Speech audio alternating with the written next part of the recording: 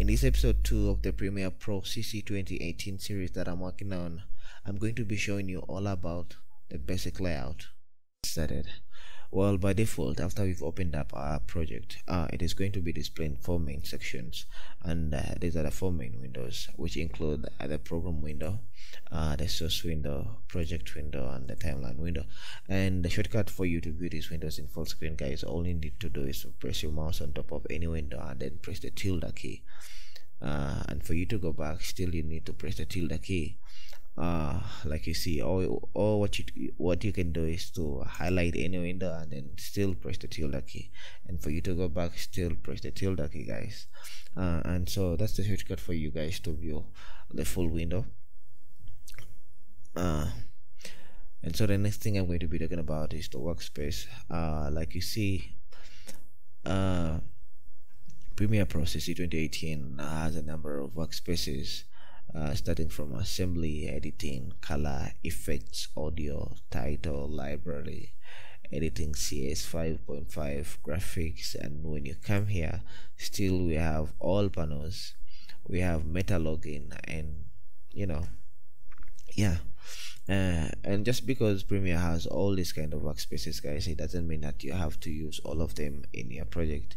Uh, for my case in most cases I normally use one workspace and they, and and it's the editing workspace that I work in uh, for all my projects by the way. Uh, well for, the, for those of you who want to assemble your footage uh, you, you can come to the assembly workspace and then uh, for editing you come to the edit, editing workspace uh, to, for you to color grade your project. This is where you're going to come. And then for you to add in more effects in your project you come here. Titles for these uh, libraries. This is where you can navigate for all your all your media within your project guys.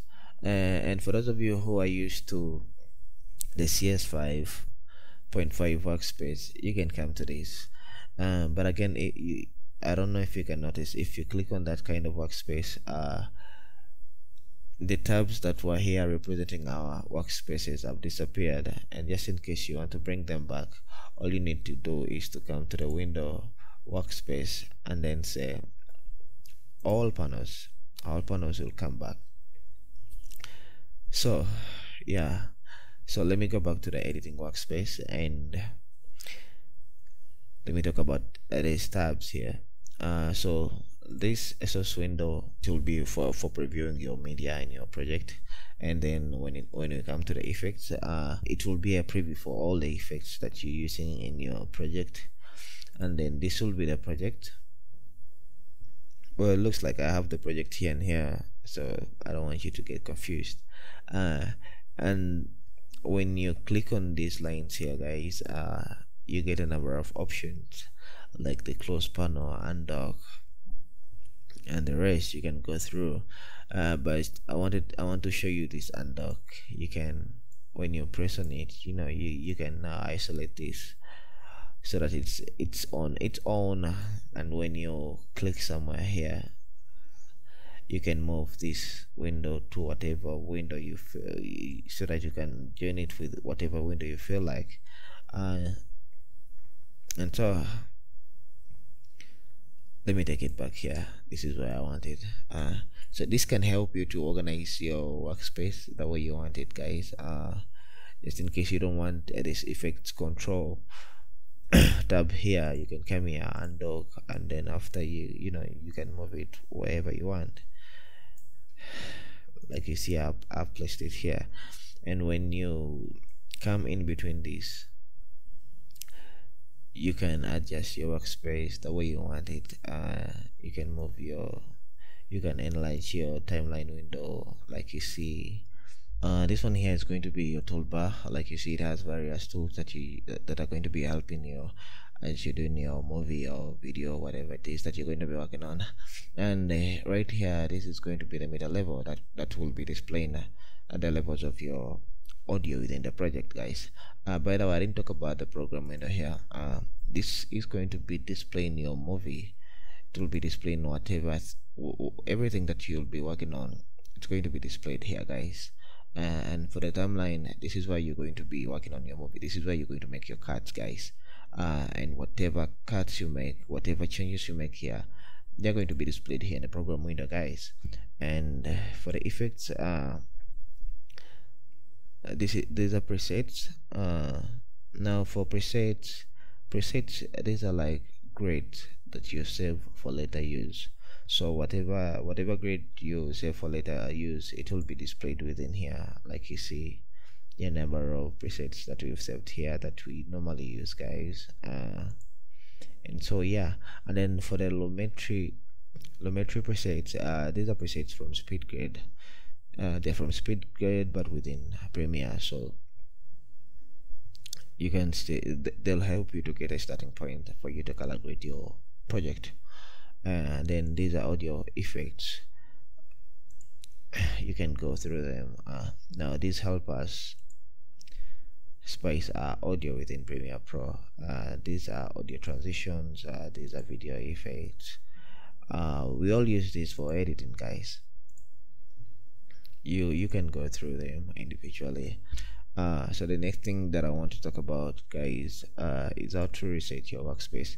Uh, just in case you you've you know disorganize your workspace uh, you can still come back here to window and then reset reset your workspace.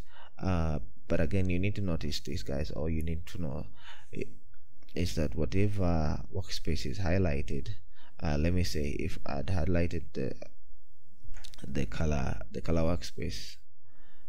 Like you see here it has a dot on it. Uh, if and if it's the editing one if I come back here it has a dot on it. So whatever workspace has a dot on it is the one that will be reset. Uh, let me give you an example. Let me disorganize everything here. Uh, let me undo and uh, let me try to disorganize everything and show you what I'm talking about.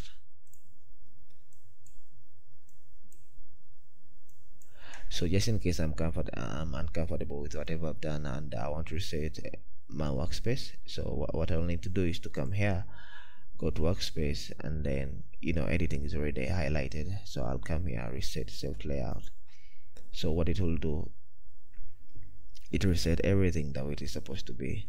Uh, and like you see I've reset it and it has displayed tabs that have not been displayed. And I think I should go through them too guys.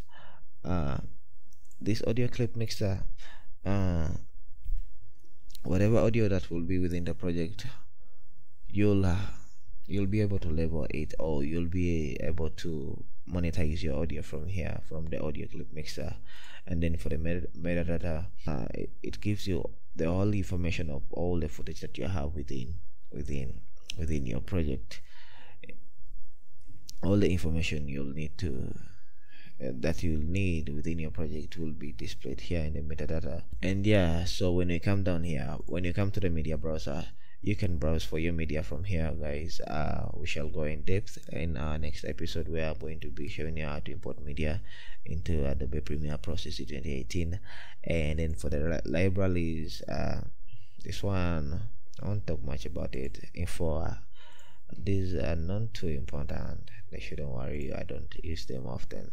And then for the markers uh, for whatever mark you for whatever mark you you make on your timeline uh, it will be displayed here.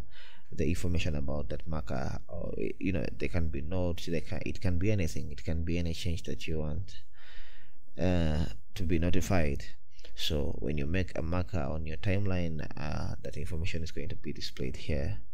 History. Well this is like the undo the undo thing that we all know.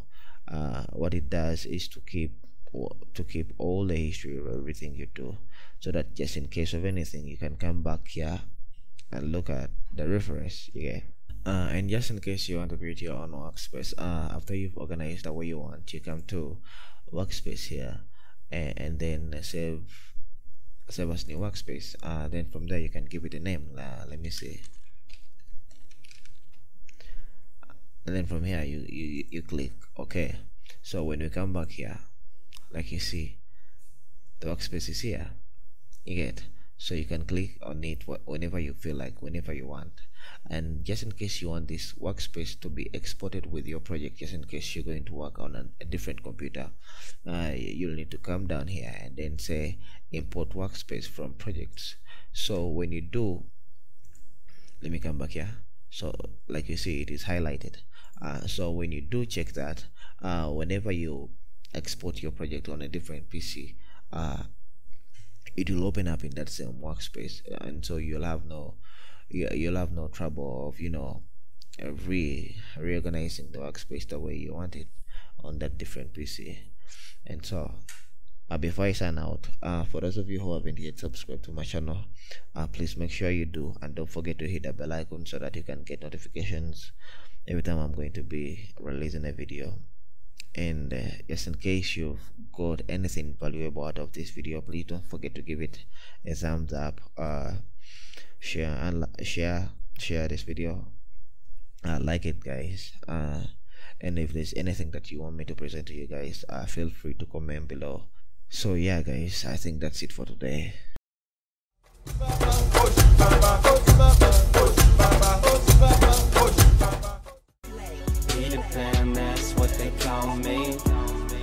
Peter Pan,